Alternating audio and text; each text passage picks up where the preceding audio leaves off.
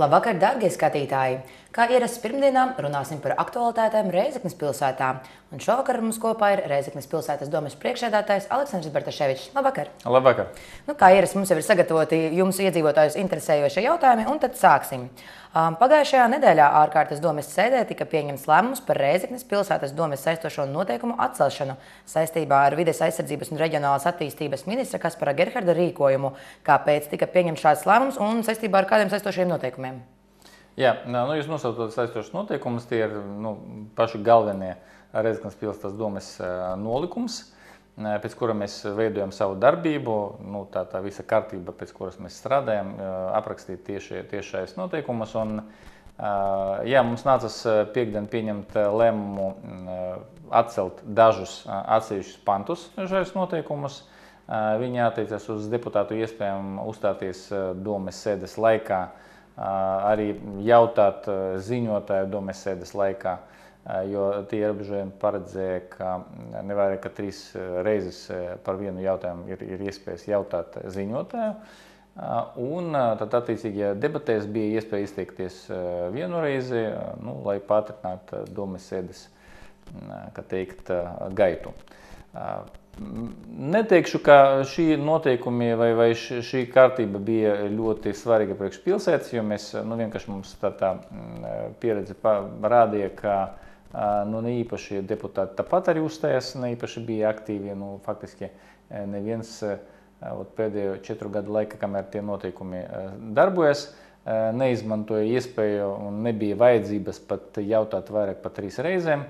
Teikšu, teikšu vairāk, ka parlamenta vispār neeksistē tādas kārtības, ka deputātam ir iespēja sēdes laikā kaut ko jautāt ziņotāji. Viņam ir iespēja tikai izteikties, runāt debatēs, pateikt savu viedokli un nu, a priori, ka parlaments uzskata, ka deputāts jau zina, kas par tēmu un, un kas tur tā, tā priekšlikuma būtība, un ja viņam ir interese, viņš var piedalīties parlamenta darbā, arī uzstājoties nu, teikt, debatēs. Lielākais darbs notiek komitejas, nu, parlamenta komisijas.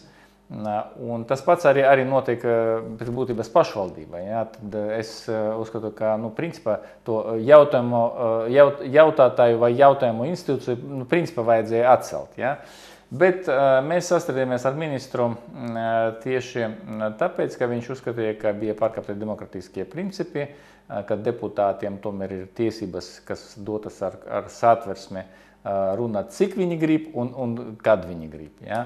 Bet vienīgais tikai, nu, kā mēs redzam, kas notiek Rīgas domē, tad tā, tā demokrātija pārvēršas par balagānu un, un principā deputāti jautāja ne tāpēc, ka viņam kaut kas nav zināms un nav skaidrs, bet vienkārši, lai nu, pavilkt laiku.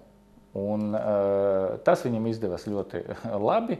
Vismaz mēs redzam uz Rīgas domas piemēra, ka uh, tiem opozīcijas deputātiem uh, bija iespēja nu, tik uh, bremzēt uh, sēdes gaitu, ka sēde var, varēja ilgties piemēram dienām nevienu, bet divas un trīs dienas. Ja? Nu, tas, manuprāt, tiešām jau kaitē gan domes darbam, gan arī vēlētājiem, kas gaida tomēr no, no domes deputātiem kaut kādus rezultātus. Protams, rezultātu var parādīt tikai balsojot par kaut kādiem lēmumiem. Ja?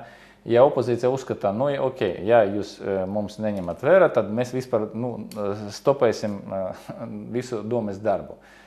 Kam no tā būs labāk? Ja? Tāpēc arī tāda liela uzmanība bija pievērsta šiem noteikumiem no ministra puses pēc četriem gadiem, kad šie noteikumi bija apstiprināti. Un šis normas jau darbojas četrus gadus. Ja, tikai tagad ministrs pievērsa uzmanību, ka tiešām Rezekne notiek kaut kas nedemokratisks. Manuprāt, nu, šeit ir noteikti par ko strīdēties ar ministru. Un mēs saprotam, ka mums ne, ne, nav tik asas vajadzības, kā pieņems Rīgas domai. Mēs vienkārši nolēmām piekrist ministram, kaut gan iekšēji nu, neatbalstam viņu gājienu. Dažu iemeslu dēļ, ne tikai tāpēc, ka mēs uzskatām, ka nu, nekāda demokrātiska principi nav pārkāpti, un, bet vienkārši mums liekas, ka ja mēs ietu visu to garu ceļu, kas ir paredzēts paš, likumā par pašvaldībām, tad mēs tērēsim pārāk daudz resursu, pārāk daudz laiku, un ministrijas ierēģi arī tā skaitā nodarbosies nevis ar savu tiešo un svarīgo darbu, bet ar kaut kādiem strīdiem. Tāpēc arī mēs tādā pieņemam Salmanu lēmumu nu, nesakt karu. Kaut gan mums ir piemēri, kad mēs tiešām nonācām līdz satversmes tiesai, strīdā ar ministriju un ap, apstrīdējot teikt, ministra rīkojumu. Es domāju, ka nu, tur viss būs ar panākumiem, jo kas priekš mums ir principiāli. Nu, nedrīkst, nu, ir, ir kaut kādas robežas starp ministrijas pilnvaram, valdības pilnvaram un pašvaldības pilnvaram. Uh, Par ministriju balso parlaments, ja? par mums balso cilvēki tiešas vēlēšanas. Ja?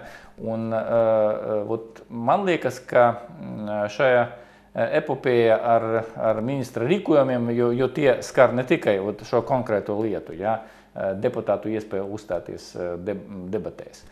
Bet arī citas pašvaldības jomas, un ministrs pēdējā laikā pārāk aktīvs tieši pārkāpjot vai neļaujot pašvaldībām rīkoties viņu kompetences ietvaros. Tas, manuprāt, bīstami, jo tas ir tas nu, nesmugs uzbrukums pašvaldību autonoma, autonomitātei. Un šeit es saskatu lielāku problēmu. Un, nu, protams, drīz jau mums gaida saimnes vēlēšanas. Protams, ka mainīsies gan parlamenta sastāvs, gan valdības sastāvs. Un es ceru, ka nu, nākamais ministrs jau būs nu, vairāk kompetents un varbūt viņš tiešām mēģinās risināt svarīgākas problēmas. Nevis nu, mēģināt kaut kādu politiski zīmēties un, un radīt darbu, kas, kas nu, pēc būtības nav darbs. Um, jā, un tad vēl viens mazs jautājums klāt šim. Tad, kas notiek tālāk? Jūs maināt esošos noteikumus? Nē, vienkārši... mēs nomainījām esošos noteikumus. Es teicu, ka mēs piekāpjamies ministra prasībai, lai nu, neterētu resursus tālākiem strīdiem. Ir tīpaši tāpēc, ka nu, šī, šīs ierobežojums nav aktuāls priekš pašvaldības. Mums nav tik smagi kā Riga. Viņam vajag tiešām rūpēties par to, lai šis nu, līdzīgs vai ierobežojums pastāvētu, lai nu, sakārtot tieši domes darbu, ja, lai tomēr lēmumi tiktu pieņemti. Mums tādas problēmas nav. Skaidrs, jā, un tad arī par kādu pieņemto lēmumu. Rezeknes namsaimnieks burtiski nesen ir parakstījis līgumus ar attīstības finanšu institūciju Altum un Seibanku par ēkas baznīcas ielā 26a energoefektivitātes pasākumu finansēšanu. Un tad iedzīvotāji jautā, vai arī citām mājām ir iespēja piedalīties šajā programmā. Viennozīmīgi ne tikai viņi var to darīt, bet es pat ieteicu viņam iet pie saviem apsaimniekotiem, lūgt viņus sagatavot pieteikumus šai programmai. Protams, tur ir noteikta kārtība, kuru jāievēro, lai dabūtu diezgan lielu finansējumu arī no struktūra fondiem, jo šī konkrēta māja, Baznīcas ielas 26a, viņa saņem 50% no visiem izdevumiem, uz mājas, mājas siltināšanai no struktūra fondiem. Jā, tas, tas ir grants, tā, tā ir dāvana tai un tikai pa, piere, pa, pa pārējiem 50% viņi parakstījuši līgumu ar SEB banku. Un tieši par šo notikumu jūs jautājat, tad līgums bija parakstīts. Un 1. maijā sāks visu to procesu siltināšanas, 1. maija Rezekne tieši šajā plānošanas periodā.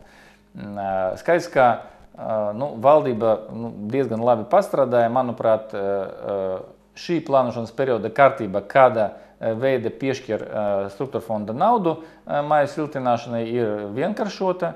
Tagad par visu atbildīga viena institūcija, par, par grantu piešķiršanu vismaz, ja, par, arī par kredītiem rūpējas viena un tā pati organizācija Altum. Ļoti vienkārši kārtība. Tad jūs pieņemat lēmumu savā sapulcē, ka jūs gatavi piedalīties šajā pasākumā.